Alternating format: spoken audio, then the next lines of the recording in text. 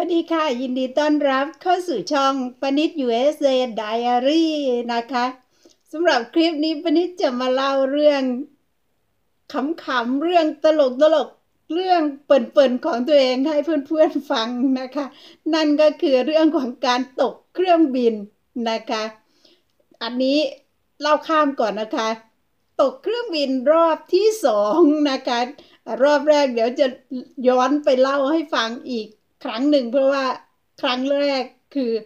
ยาวหน่อยนะคะ แต่ว่าครั้งที่สองนี่มันขำมากเลยปนิดกลับบ้านกลับไทยอะนะคะ ปกติแล้วเนี่ยอพอถึงกรุงเทพ ก็จะมีลูกๆเข้าไปรอรับที่สนามบินนะคะ แต่วันนั้นพนิดบอกเขาบอกว่า เดี๋ยวยังไงไม่ต้องไปรับแม่หรอกนะ เดี๋ยวแม่จะบินกลับขอนแก่นเองนะคะ ทีแรกลูกชายเขาก็จะไม่ยอมนะคะ เพราะว่าปกติเนี่ยก็จะไปกันเป็นครอบครัว แล้วก็ไปเที่ยวกันด้วยเลยก่อนที่จะกลับนะคะ แต่ครั้งนั้นปนิดบอกขอกลับ ด้วยตัวเองนะคะ ขอนั่งเครื่องจากกรุงเทพถึงขอนแก่นเอง แต่ปรากฏว่าปนิดถึงสนามบินสุวรรณภูมิ เสร็จแล้วปนิดก็ดูตั๋วของตัวเองอะนะคะเขาก็บอกนะคะระบุนะคะว่า B5 รดไหนเกรดไหน อะไรประมาณนั้นนะคะปนิดก็เอามาดูสองรอบนะคะปนิดก็ยังเห็นว่ามันเป็น B มันยังเป็น B5 แต่จริงๆแล้ว เที่ยวบินของปนิดมันเป็น B2 ค่ะพี่น้องปนิดปนิดก็ไปนั่งรออยู่ B5 ไปนั่งรออยู่ B5 จนกระทั่งเครื่องเขาก็ออกแล้วนะคะ เจ้าหน้าที่เขาก็เจ้าหน้าที่เขาก็กำลังเคลียร์ทุกอย่างแล้วนะคะ เสร็จแล้วปนิดก็เลยเดินไปถามเขาบอกว่าเนี่ยทำไมฉันไม่ได้ขึ้นเครื่อง เขาก็เลยบอกว่า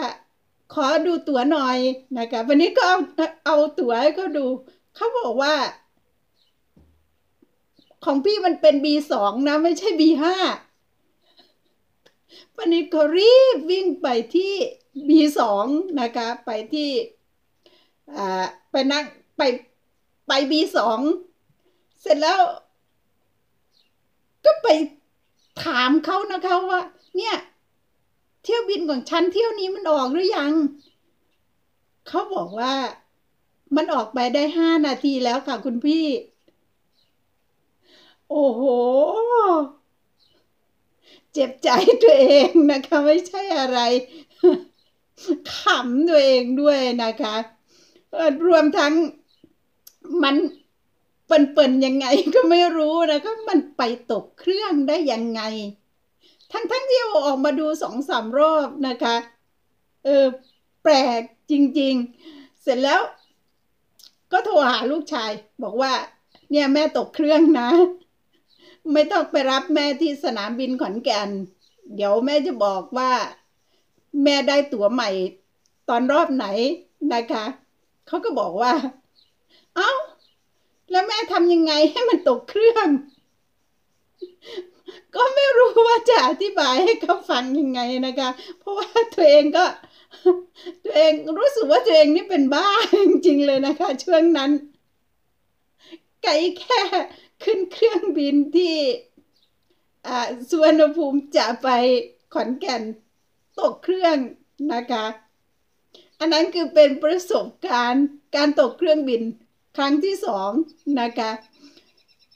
จนกระทั่งไปหาตั๋วรอบใหม่นะคะ ว่าได้ราคาสูงขึ้นเท่าตัวเลยทีเดียวนะคะ เพราะว่าช่วงนั้นดูเหมือนว่าจะมีนักการเมืองผู้หลักผู้ใหญ่ VIP ไปที่ขอนแก่นนะคะ เพราะฉะนั้นเครื่องบินมันเต็มหมดเลยเขาก็อัพไพรส์ขึ้นนะคะ อัพราคาขึ้น เพราะฉะนั้นก็เลยได้เป็นสองเท่านะคะ ได้ราคาตั๋วเที่ยวนั้นเป็นสองเท่า ก็ได้กลับบ้านอยู่นะคะ ตลกที่สุดเลย เดี๋ยวคราวหน้าพนิจจะเล่าประสบการณ์ การตกเครื่องบินรอบแรกให้ฟัง มันไม่สนุกมันไม่ตลกแบบนี้นะคะสำหรับคลิปนี้ขอบคุณที่ติดตามสวัสดีค่ะ